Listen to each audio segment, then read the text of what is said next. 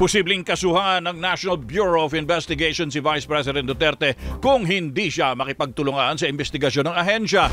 Reschedule na sa December 11 ang pagharap ng Vice Presidente para ipaliwanag ang kanyang mga banta laban kay Pangulo Marcos Jr., First Lady Liza Araneta Marcos at House Speaker Martin Romualdez.